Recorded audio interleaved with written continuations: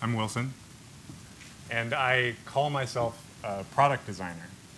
But I say that somewhat sheepishly because I don't design the kind of products like this that live in the real world. I design products like this that live on screens.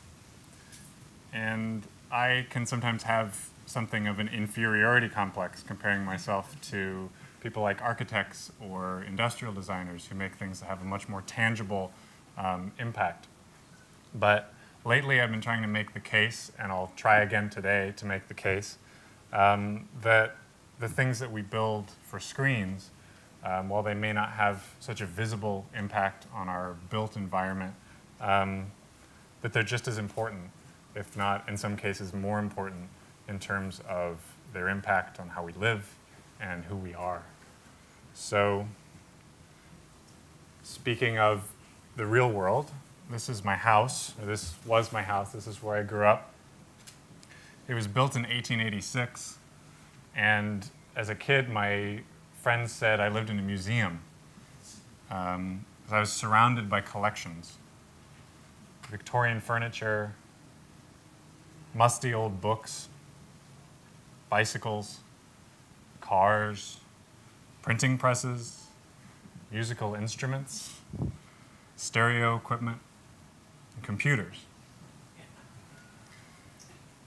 When my father died, all of these things, his things, resurfaced suddenly into my life. He loved cars. This is the car he bought after his first chemo treatment because he said, no one's going to tell the professor with cancer that he can't drive a Porsche. this is the car he drove when he brought me home from the hospital after I was born. When I was a kid, he collected classic cars. They reminded him of the cars he dreamed about when he was young. When money got tight, this is the one car he didn't sell because I begged him to keep it. I drove it to my senior prom. And I told him if it was my car someday, I would never sell it. We put so much of ourselves into these things, but they're just things. They're just tools. They fulfill a need. They take us where we want to go. But they're also sort of totems, symbols of ourselves. They're empty vessels. We fill them up with our stories. They're constantly changing to reflect our desires, our hopes for the future, our best image of ourselves. We shape our tools, and thereafter our tools shape us. This is a line from Marshall McLuhan, another college professor like my dad. It's from his book, Understanding Media, which came out in 1964. It's about electronic media, especially television, and how they affect our society and culture. One of the things he says is that the things we make, whether it's a TV or radio or telephone, each of these things creates a new environment. When you introduce a new medium, this is one of McLuhan's favorite terms. Sure, I'm sure you've heard his most famous phrase, the medium is the message. Um, but when you introduce a new medium into a society, McLuhan says it changes our outlook, changes our attitudes about how we relate to the world, changes our feelings about things like politics, about war. Even a light bulb, which has no content, but a light bulb still acts as a new medium. It creates a new environment. It lengthens the workday. It changes how and when people can interact. It changes how we behave. The car is one very noticeable example of this kind of environmental effect. The car may look very different on the outside, but as a machine, it hasn't changed that much in 100 years. But look at how we change the world around it. We built highways, factories, oil companies. We changed our whole environment based on the car. We changed our whole way of living. And McLuhan's ideas kind of go in and out of fashion. And it's a cliche to say this, but I really believe they've never been as relevant as they are now. Um, but they're a little bit hard to explain secondhand because the way he communicated them was so unique and idiosyncratic. He was a big believer in combining words and images and wordplay and even music, all kind of in the service of um, communicating an idea. So I put together a, a little video um, with some of his words in the first part. It's not his voice, but it's from his writing. And well, I'll let you uh, see if you can recognize the voice in the second part.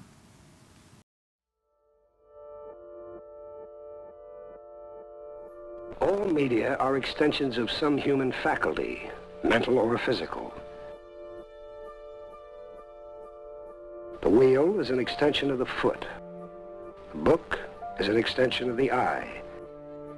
Clothing is an extension of the skin.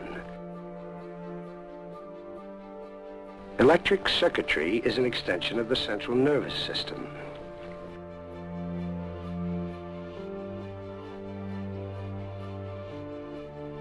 The extension of any one sense displaces the other senses and alters the way we think,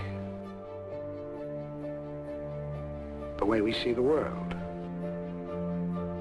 and ourselves.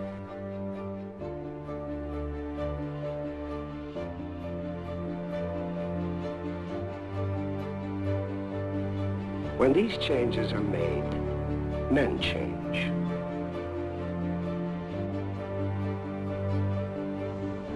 I think one of the, the things that really separates us from the high primates is that uh, we're tool builders.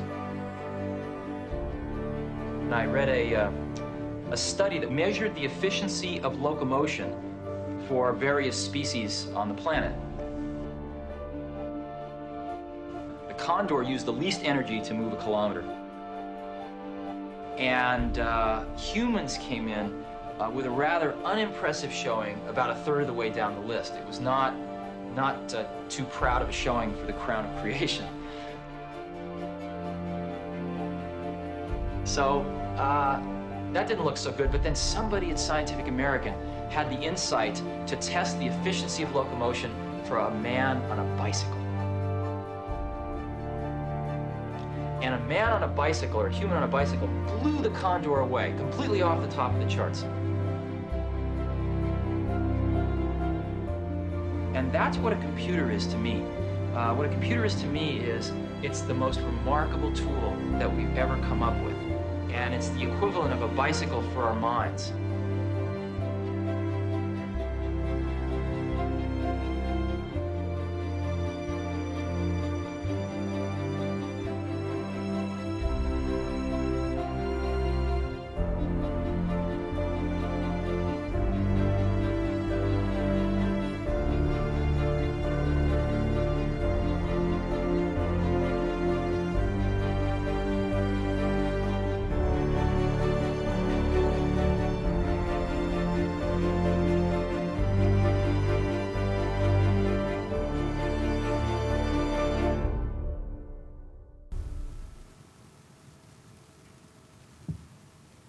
That last clip is from a balloon that those guys made, and they sent a digital camera up with it, and they tracked it with their iPhones so they could find it when it landed. But they took pictures from space. I, I just think that's amazing.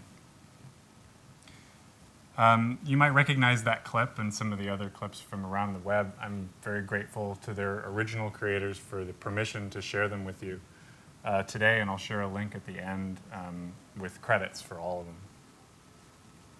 Maybe you recognize the voice of Steve Jobs there at the end. I just love that idea about computers. They're like a bicycle for our minds. It's such a great way to think about tools, that they're this empowering, almost bionic extension of our own human abilities.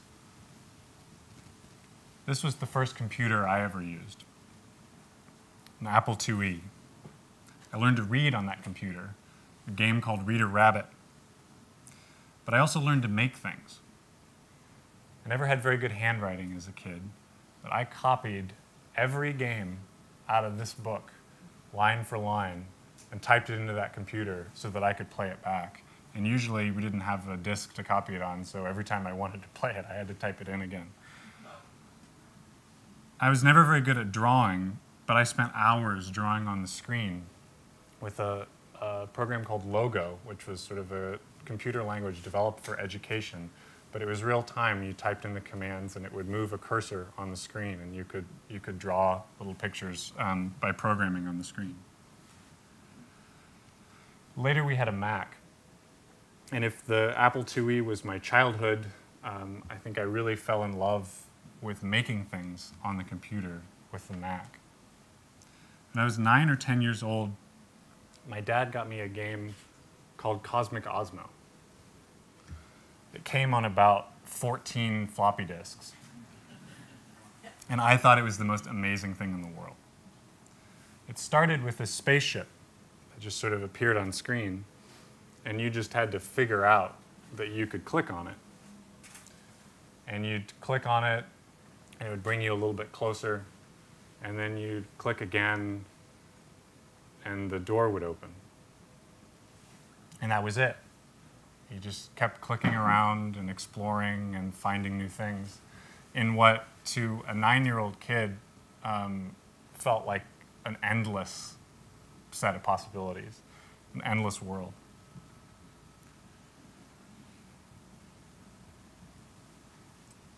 But eventually, those 14 discs ran out. And I wanted more. So I convinced my dad to buy me a copy of the software called HyperCard that they used to make this game. And I started learning how to use it and making my own games. Miraculously, I was able to find one other person my age who was doing the same thing. We met at summer camp. This is before the internet.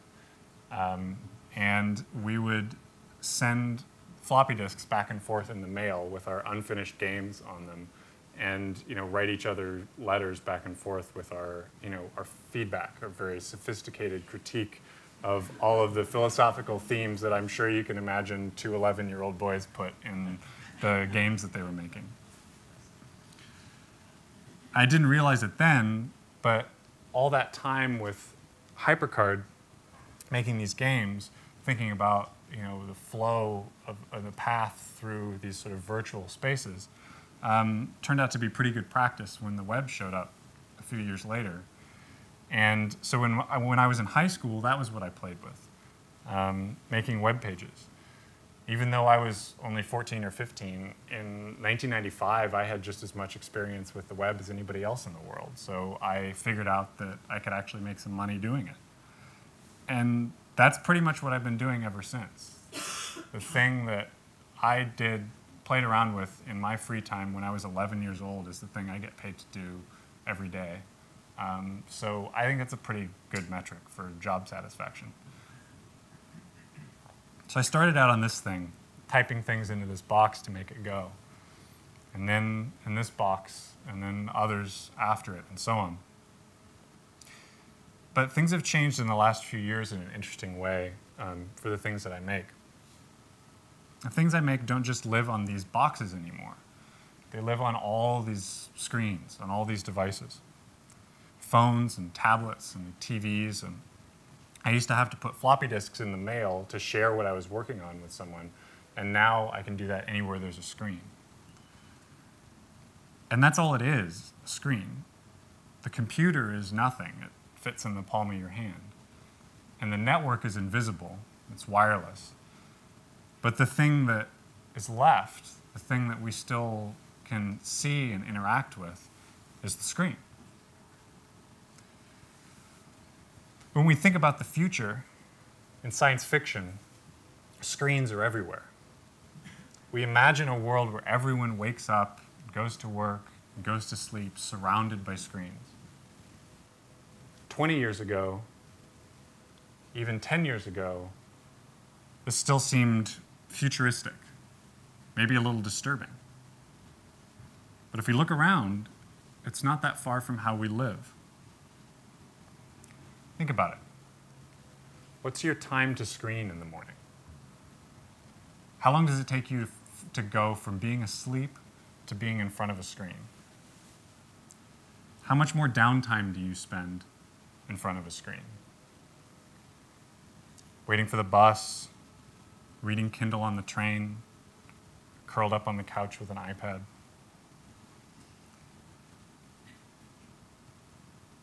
The car shaped the environment of the 20th century in this huge tectonic way. It's hard to imagine what the world would look like if the car didn't exist. But I don't think it's a stretch to say that the screen be just as important to shaping our environment in the 21st century. So, what goes on those screens is important. The things we choose to surround ourselves with will shape what we become. It's not just about pretty interfaces.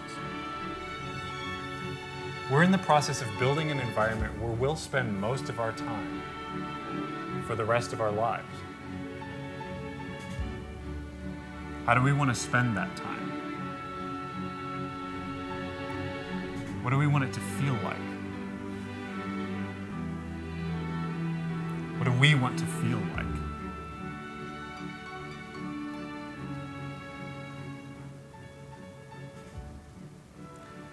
Somebody once told me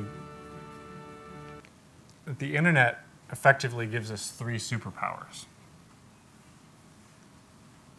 More or less, we can communicate with anyone in the world.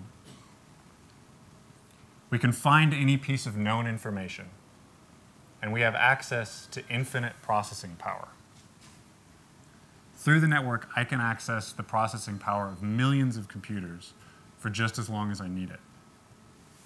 And all of this I can do from anywhere. My connection to these, well, except for here. and doesn't that make this a wonderful place? But my connection to these superpowers is always on. I carry it with me. The third generation of data and voice communications, the convergence of mobile phones and the internet, high speed wireless data access, intelligent networks, and pervasive computing will shape how we work, shop, pay bills, flirt, keep appointments, conduct wars, keep up with our children, and write poetry in the next century. That's Steve Silberman writing in Wired magazine in 1999. To us in this room in 2012, that doesn't sound like the future. That's just the world we live in. But it didn't take a century. It barely took a decade. Alexis Madrigal, writing in The Atlantic this year, said, I can take a photo of a check and deposit it in my bank account then turn around and find a new book through a Twitter link and buy it, all while being surveilled by a drone in Afghanistan and keeping track of how many steps I've walked. The question is, as it always has been, now what? Now that we have these superpowers, what do we do with them? And what do they make us? With great power comes great responsibility, right? So I share a responsibility with other designers to think about the impact of the things that we make. Not just how they meet our goals or our clients' goals, but how they shape our behavior. But all of us share a responsibility as we learn how to navigate and live in this digital world to be aware of how we relate to our tools and the impact that they have on us. There's a line about architecture from John Ruskin. He said, When we build, let us think that we build forever. Let it not be for present delight, nor for present use alone. Let it be such work as our descendants will thank us for. We don't tend to think about the things that we build for screens lasting very long websites and apps have a short half life. Even the longest lasting platforms and operating systems are a blip on the timeline. compared to a house or a car or a chair. The things we make can have such short lives. And I think that makes us short sighted. Sometimes our imaginations don't stretch that far ahead, or we don't look that far behind us for inspiration. So that's my big do. To remember, as I join a lot of you and a lot of other designers, creating this new ecosystem of digital tools in this world of screens. That we have a longer horizon ahead of us than just the next software platform or the next version of the technology. And we have a longer lineage behind us than just the web or software or even computers. Steve Jobs said that the things that, thing that separates us from the high primates is that we're tool builders. We make things. We make things that change our lives, and we make things that change our world. This is a long and long lasting tradition. We shape our tools, and our tools shape us. We're a product of our world, and our world is made of things. The things we use, the things we love, the things we carry with us, and the things we make. We're the product of our world, but we're also its designer.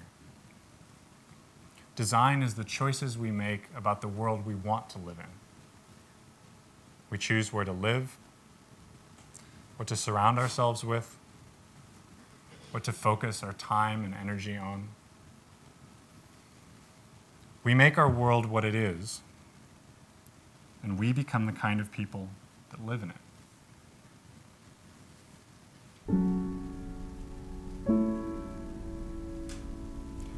When we're gone, all that's left of us is what we've made. Not everything we make leaves a visible footprint on the earth. But everything we make takes up space, creates noise, competes for attention. What do we want to spend more time with? What do we want to shape us? What nourishes us? What do we want to see grow? I think we all have an idea. I think we all have something that we want to make for no other reason than we want it to exist something small, but meaningful. That's my little do for all of us. Let's go make things. Let's find what we love and find out how to make more of it. Let's make things that nudge the world a little bit in what we hope is the right direction.